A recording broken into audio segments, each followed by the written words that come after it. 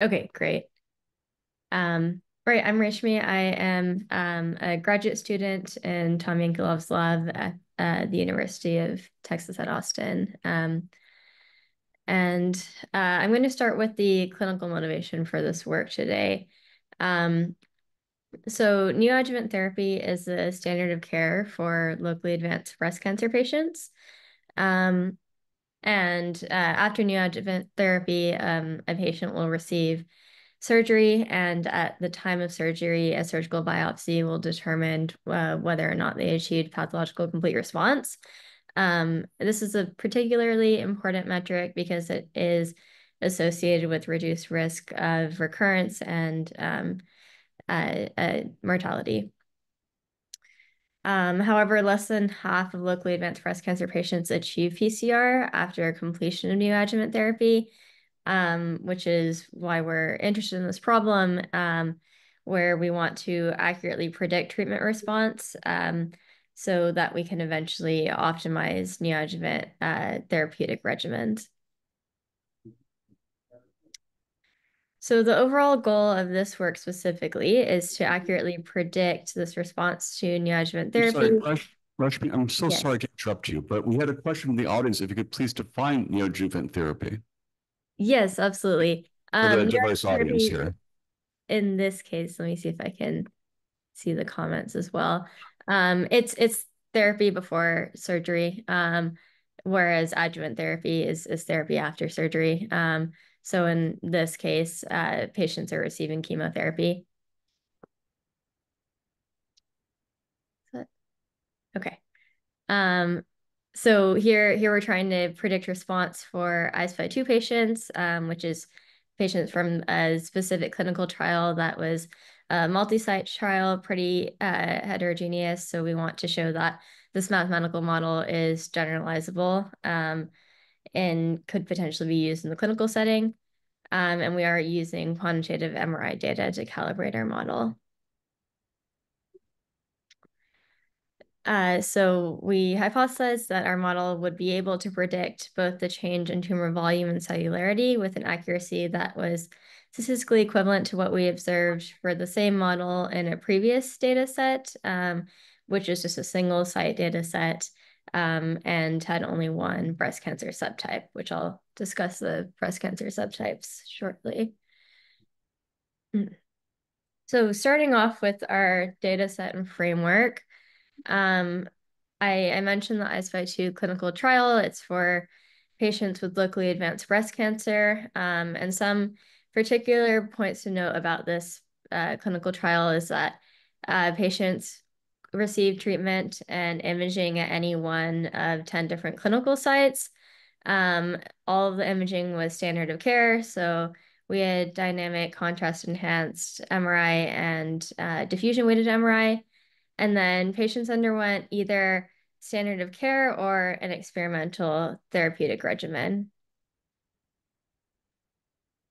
Um, so this is what our cohort looks like. We have 91 patients total. Um, so looking at the disease subtypes here, we broke the the cohort uh, into three different disease subtypes um, based on whether patients had um, uh, a higher level of um, receptors, so either the HER2 positive, uh, sorry, the HER2 receptor or hormone receptors, in this case, estrogen and progesterone. Um, so for triple negative patients, they did not have an increased level of any of those uh, receptors. Then we have the HER2 negative, but um, HR positive case. Um, and finally, the HER2 positive case. Um, and for each of these subtypes, the patient could have received an experimental therapy or the standard of care, which standard of care was just paclitaxel, um, uh, except for the HER2 positive patients, it's paclitaxel plus these monoclonal antibodies. So that's pertuzumab and trastuzumab. Um, and then we did have more non-PCR than PCR patients, uh, but we had some of, of each case in uh, all of our different categories.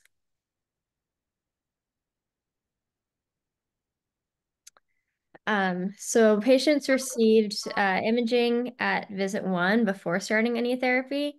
um, as you can see right here. And uh, then they received three cycles. So this is three weeks of treatment. Uh, that's either paclitaxel or an experimental therapy. Um, they received the same imaging at visit two.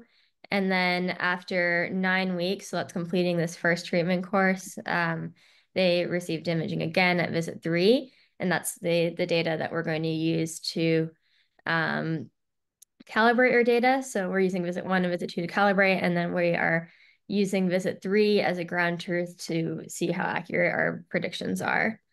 Um, and then patients did receive a, a, second treatment course, so that's 12 more weeks um, before surgery. Uh, we didn't run the model all the way out to the time of surgery, but we did use our model predictions at visit three to see how well we can predict PCR status at time of surgery.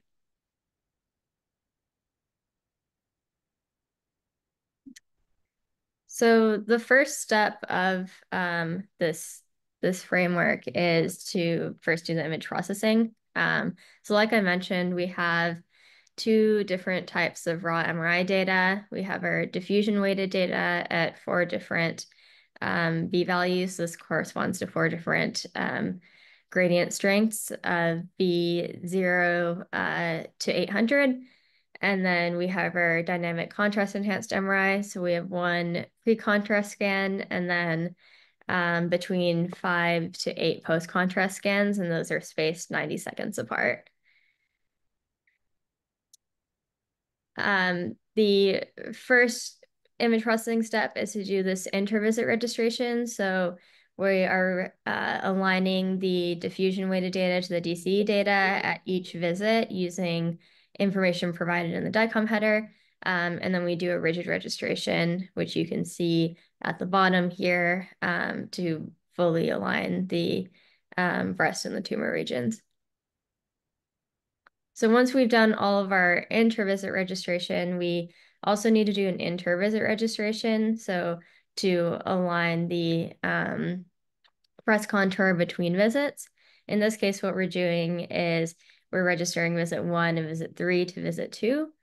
Um, so this registration is a deformable registration, but we put a rigid penalty on the tumor ROI um, so that we aren't biasing the results of our um, eventual model with the registration. We know that any changes in the tumor um, in in the tumor shape and size um, are, are true changes, not those caused by registration. Uh, so you can see for this particular patient, if you look at the 3D rendering here, that the tumors are not aligned at all um, before registration, and then after registration, both the breast contour and the tumors are aligned um, much better. So then the last step is this parametric mapping. Um, we use a k-means clustering to segment our different tissue types. So we have our um, tumor here in white, the fibroglandular tissue, and then the fatty adipose tissue.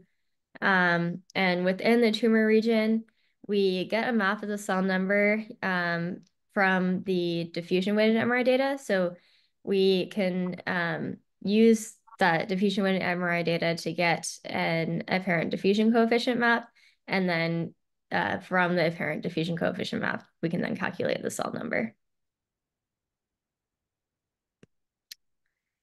All right, so moving on to the mathematical model itself. Um, our model is a partial differential reaction diffusion equation. We are computing the change in the number of tumor cells in space and time, um, and that is a function of cell diffusion, um, cell proliferation, which this is logistic growth, and then response to therapy. So um, cells die due to treatment here. Uh, our diffusion term is coupled to the surrounding tissue. Um, so the uh, mechanics of the tissue pressing back on the on the tumor are considered um, and kind of impede the outward growth. Uh, the parameters we're calibrating here are a local proliferation rate. So that's um, the proliferation rate at each voxel, and we get a map for that parameter, and then a global drug efficacy rate where we just have one um, value there. our assigned parameters, so um, based on the results of sensitivity analysis, our diffusion coefficient without stress was um, not a sensitive parameter, so we just went ahead and assigned that uh, from a literature value. The carrying capacity is the physical carrying capacity calculated based on the voxel size and the cell volume. Um, and then we model with a range of decay uh, values from 0.05 inverse days to 1.5 so that we can quantify the uncertainty of our model. Um, the mechanical co coupling coefficient is another literature value. And then we have our remaining variables. Um, so the important model inputs here, we have our initial drug distribution. We are assuming that the drug distribution um, is proportional to the DC signal intensity, um, which is a bit of a simplifying assumption. Uh, our tissue segmentation map that I mentioned before defines the modeling domain. Um, and then we have our visit one cell map as our initial condition, and our visit two cell map is what we are going to calibrate to. Um, the calibration itself is a Levenberg-Marquardt nonlinear least squares optimization. Um, and what we get from that calibration is, um, this is an example for one particular patient. We have a uh, value for alpha, our global parameter, and then a map for um, K proliferation, which is a local parameter.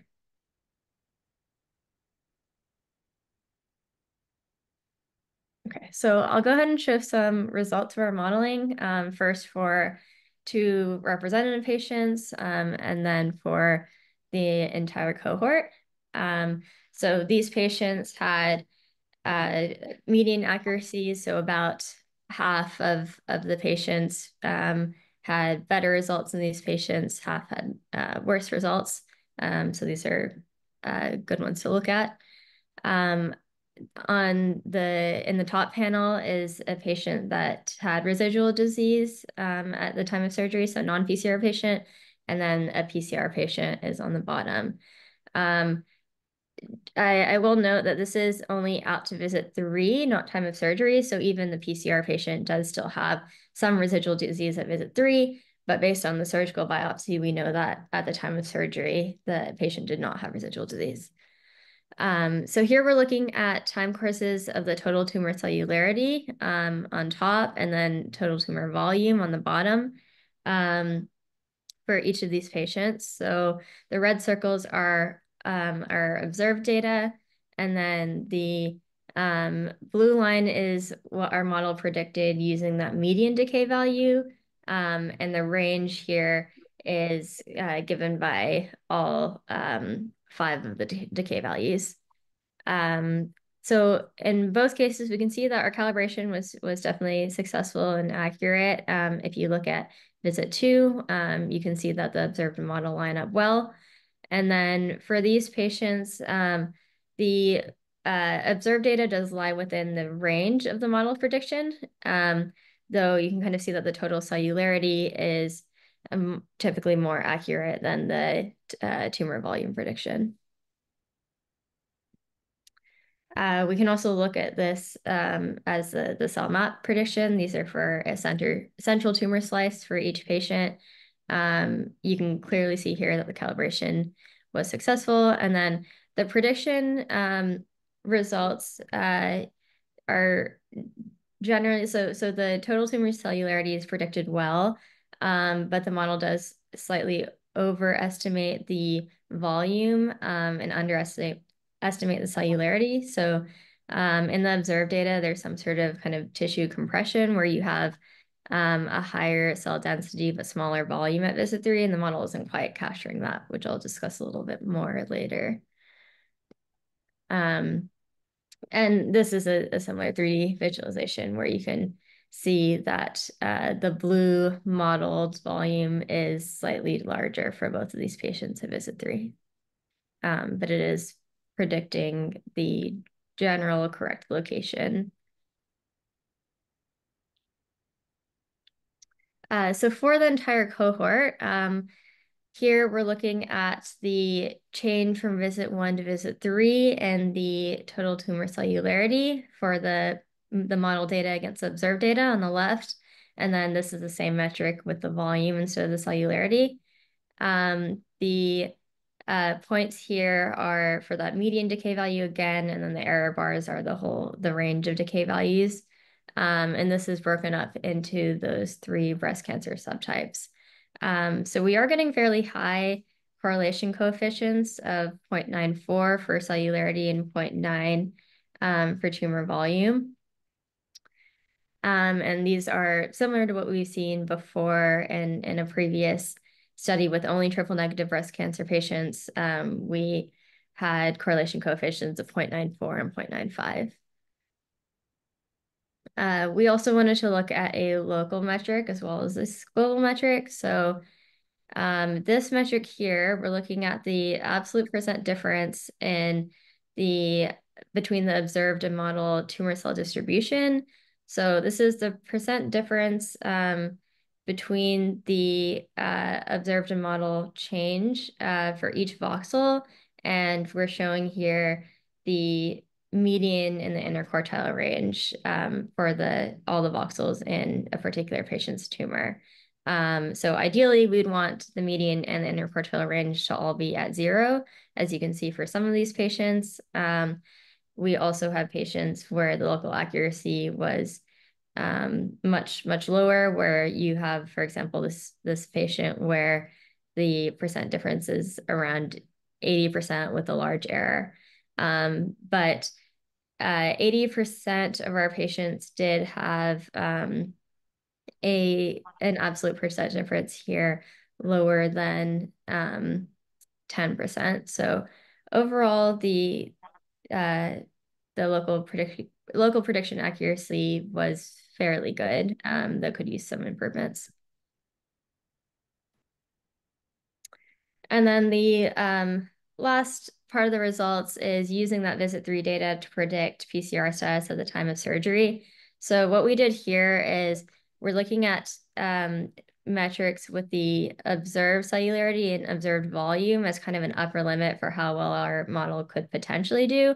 Um, and then we have uh, below those what using using our actual visit three model predictions. Um, so you can see that the area under the receiver operator characteristic curve um, gets really close to to our um, theoretical upper limit right here, where we have a 0.77 value with our model, 0.79 observed, and then 0.78 modeled and 0.79.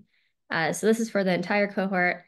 Um, for HER2 positive patients, uh, the, the, the performance uh, for the prediction was worse. The HR positive, HER2 negative patients, um, this prediction was better. Uh, and then triple negative patients were somewhere in the middle. All right. Uh, so a couple of limitations of our model. Um, I mentioned that tissue compression before. So what's going on here is that the, the model is capturing the total tumor cellularity, but seems to overestimate tumor volume and underestimate tumor, um, the, the local cellularity at visit three. Um, and this happens with, to some degree, um, for about half of our patients. So it is something that we would want to figure out how to address in the future. Um, uh, another limitation for a handful of patients with, uh, uh so there were four patients in the cohort that had irregular treatment schedules. Here you can see that this patient, um, the last um, five treatments were, were spaced uh, further apart. Um, and that's giving time for this, this regrowth. So because the spacing from visit one to visit two is very different from the spacing between visit two and visit three, the model isn't quite capturing those dynamics and is um, overestimating the visit three cellularity.